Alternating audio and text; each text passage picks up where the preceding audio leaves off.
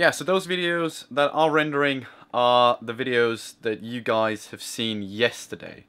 I just wanted to take the time and say I'm sorry that I didn't manage to upload these videos when they were supposed to be uploaded.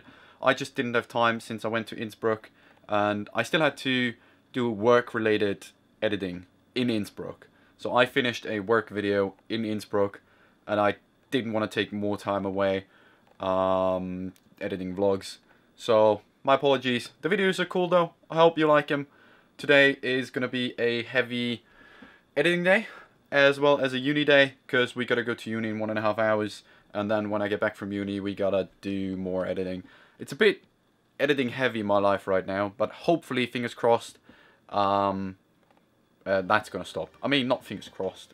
I, I don't mind editing but it's not my most favorite thing to do if I'm going to be honest. But yeah, I think it should stop with the end of this week. And then we can go on more different kind of adventures, hopefully. Because I'm going to have more time again. Yeah, so on our way to uni now.